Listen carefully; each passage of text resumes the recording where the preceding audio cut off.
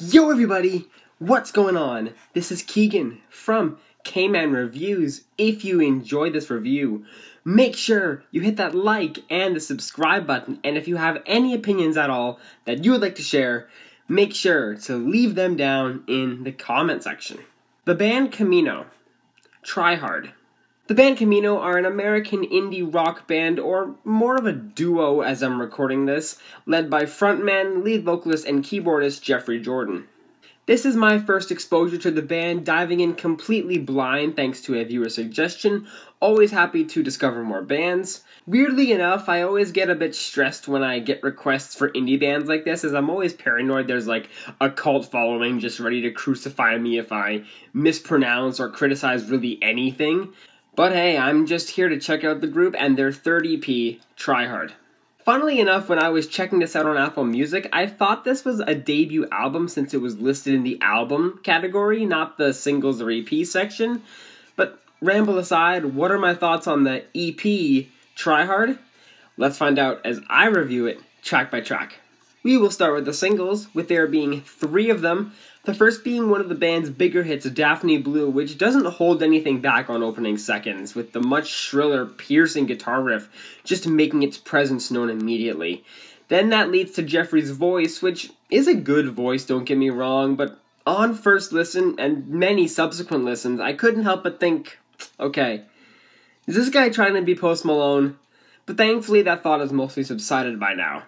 The chorus definitely has some nice pop elements with a punky, exhilarating garnish sung by Spencer. Kind of reminds me of an all time low type of chorus, which is a compliment.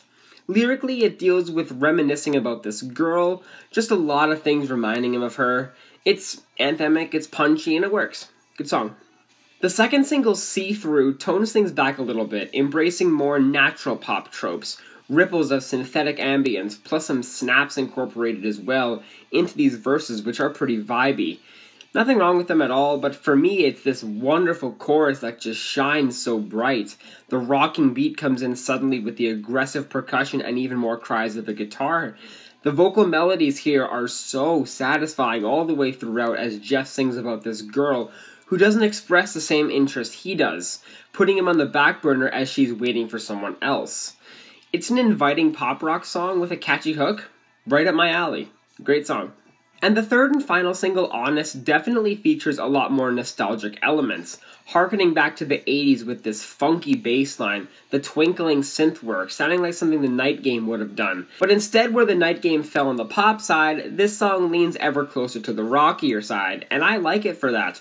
Plus, it also includes a beautiful solo. Lyrically, it's about being unsure on the status of this relationship with him wanting this partner to be honest. Not really too much else to say about this one. The vocals are nice and the chorus has a decent punch to it, although it is probably the weakest out of the three singles in my opinion, but it's still a good track. Now for the rest of the songs. Opener What I Want is actually a remastered cut from their 2017 EP Heaven, and this one's kind of just meh to me, especially on the instrumental aspects. I do like how heavy the instrumentation can get, and the solo is nice too, but that's only for a few brief seconds, and that drop just loses its initial flair very quickly.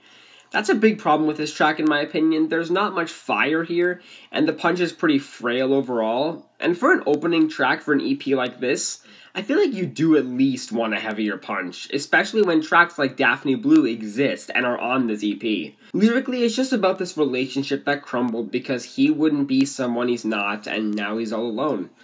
Frankly, though, this one's just a little bit sleepy. I gotta pass here. Hush Hush rebounds right out of the gate with a much more pop punk rock directed track, and this would have been a wonderful opener. It sets the energy and the mood of the EP well with the guitar riffing and a plunky bass on the verses just sounding wonderful. But for me, it's the pounds of the drums that ignite this track on the chorus alongside such a catchy melody to boot. Jeff's vocals are very well done here all throughout the track as he sings about wanting to keep everything a secret, just everything restricted to him and his partner. This is a great track, worth a listen. Haunted transports us right back to the 80s again with this gradually building synth melody before the driving drum beat kicks in.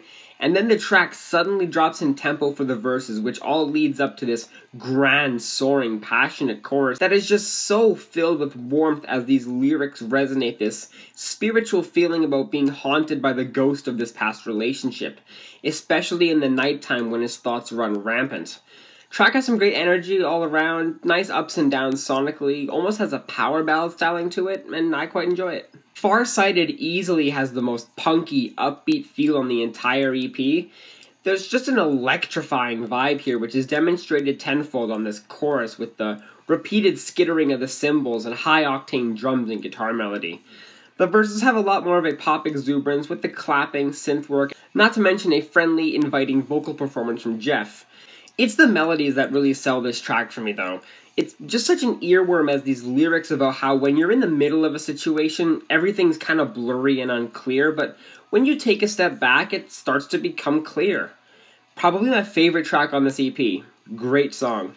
And finally, the closer, Break Me, isn't the type of closer I was expecting, which was much more of some sort of indie ballad that's pretty common, especially with such a pessimistic title. But instead, we get another solid, infectious pop rock cut with these shrieks of the guitar that kind of remind me of some of the Killers' music, which I'm always a fan of. Both vocalists do a good job, but I naturally like Spencer's voice more. I think it just suits the genre the band's going for here. Just sounds better in my opinion.